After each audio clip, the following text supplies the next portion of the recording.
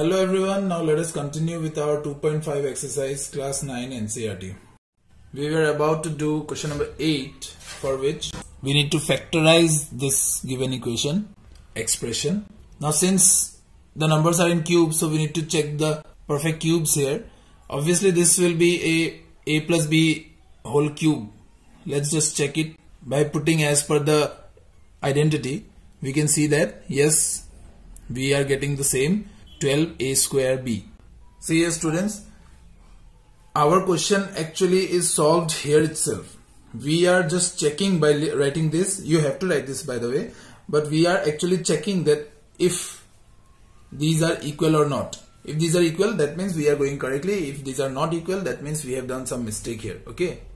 As per a plus b whole cube, we have got these three factors here. Okay. The second part is exactly same. Just remember the signs okay? That I'll be covering in this part. First of all check the cubes. So we have got our answer right here. We will just check the other two parts if we are going correctly or not okay? So yes we are going correct. So these are the factors of this equation okay? Expression. This one is also a very easy one. Just we need to check for the fractions here okay? So this is a cube minus b cube. We have got our answer.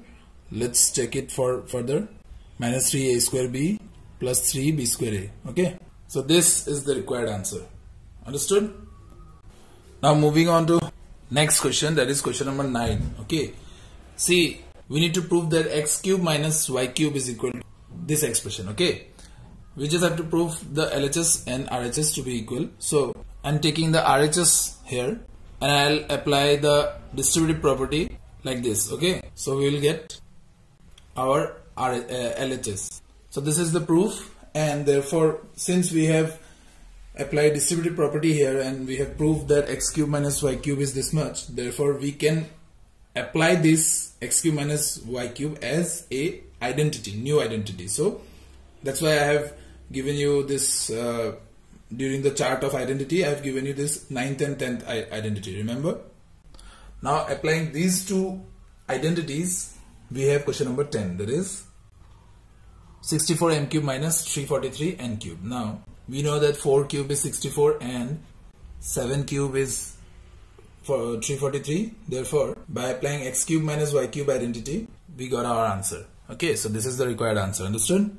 I'm doing the second part here. First part is your homework of course. Now question number 11 we need to factorize these expressions. So for that we have our eighth identity that is x cube plus y cube plus z cube minus 3xyz can be written as x plus y plus z into x square plus y square plus z square minus xy minus yz minus xz. Okay, so this is the required answer. Understood? I hope you have understood this part. I will give you another question as homework. Do this as your homework. Okay.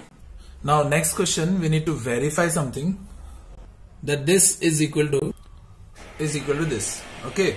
Now we will again take the RHS to solve it and get LHS here. Because RHS is a complex number. We can solve it to become a simpler uh, expression. Okay.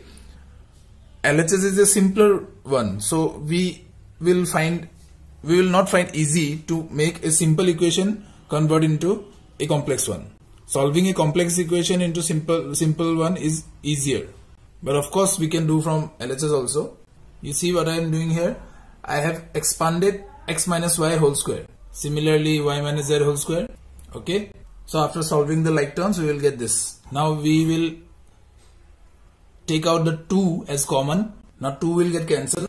Now see here we will apply the eighth identity. Remember this is actually equal to the LHS as per the identity. I'm writing here identity 8 but you have to use the whole identity you have to write okay? Using the identity that one. Now again question number 13 it is given that x plus y plus z is 0 then by applying the eighth identity. We get this okay? Now as per the question this term is 0 actually. Therefore this whole term will be 0 only. Therefore this is the required answer and we needed to prove this only. Understood? Now move on, moving on to question number 14, we will be using the result of question number 13 to find the these cubes. Okay. since their addition is 0 therefore sum of their cubes will be 3 into sum of those numbers uh, 3 into product of those numbers okay similarly we can do the rest of the parts now let's move on to the next part in which area of a rectangle is given and what we need to do here we need to calculate the length and the breadth so actually what we need to do we need to factorize this equation because length and breadth are the factors of area. Yes? So we will apply the splitting the middle term here. See students,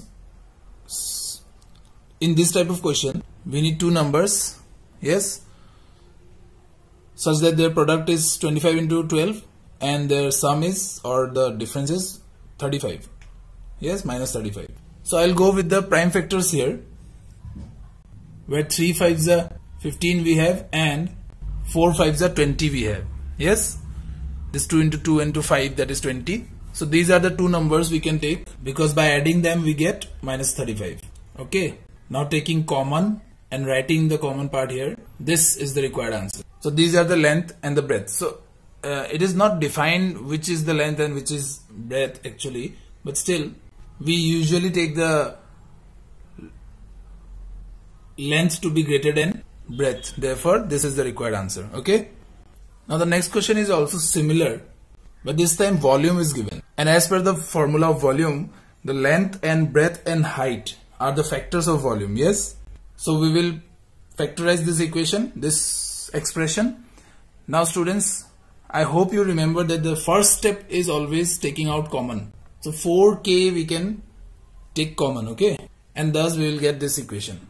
And 5 and 3 was the golden numbers. Understood? So y we can take common and from that side minus 1 should be multiplied. So these are the required factors of this volume okay. So we can take any of them as length, breadth or height. Yes. So I hope you have understood the concept behind this exercise. This is the end of this exercise as well as this chapter. Okay. Thank you. Stay tuned for more.